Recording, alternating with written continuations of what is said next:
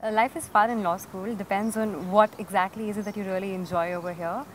You have a lot of options to explore once you come here. There's debating, there's ADR, there's mooting, and a lot of people are really interested in academics. Lots of extracurricular activities which are Including sports. here. including sports. Yes, sports, music, dance. It depends on what you want. There are lots of options once you actually get here.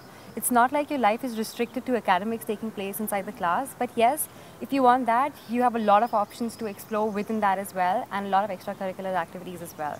So it's good. my my uh, the notion that I carried to law school once I got in was that once you clear the the AILET or the CLAT and you're here at the law school, life is pretty chill here, and you just have to pass all the exams. You get a fancy job, or you have a lot of fun You here. have to work but you well. you actually have to work a lot. You have to slog a lot of hours.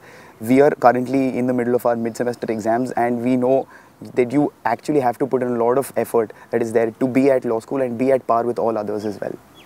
I think it's equally fun, probably more fun as compared to them because all that they have is legal subjects for those three years that they're studying, whereas we also have uh, other subjects to look into, and that provides us in both ways. In academics, we have a different approach as well to different subjects, and also if you look in terms of the way you can enjoy yourself, because those subjects are art subjects, it provides you to cover the uh, three-year law subjects in five years, and at the same time, art subjects along with them, which are not so difficult to cope with. So basically, uh, if I can put that forth, uh, the entire holistic development that takes place of an individual in law school actually cannot happen only if you take into account or read or go through case laws or only legal subjects. If that holistic education has to take place, it has to take place through humanity, humanities subjects or social sciences as well, which is one advantage that this course gives.